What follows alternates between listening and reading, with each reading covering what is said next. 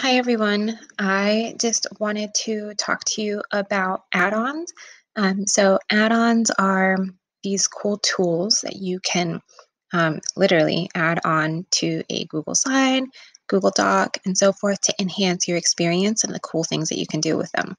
So um, I'm in a Google slide, and um, if I click add-ons, it should show you add-ons that you have.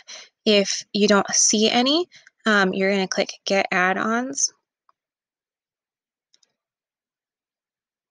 Or you can use the document that I have with the links that take you directly to the add-ons. In this case, I'm just going to show you how to add an add-on.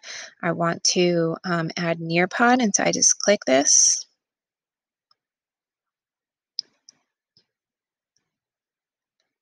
And Nearpod can be used for slides um, or for Google Drive, and then I'm going to hit Install. You always have to acknowledge permission.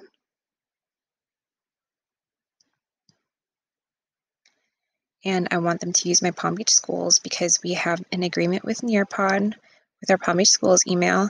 And then I want to grant them permission to slides.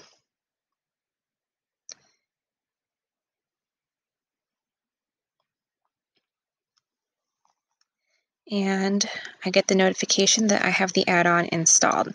So it tells me where it is that I can find it on either way. Okay, so I'm just going to click done because that's the only add-on that I wanted to do. So again, where do you find the add-ons? In the add-on tab. Now I see Nearpod and now I see Pear Deck. So if I wanted to open with Nearpod, um, I'm going to click Open Nearpod. And then I should have something pop up here on the side. Once I don't want Nearpod to appear, and I'll, I'll do a separate video on Nearpod, I can just click exit. And let's say I didn't mean to do Nearpod, I actually wanted to do Pear Deck, so I would hit open Pear Deck. And then again, I get a little pop-up there.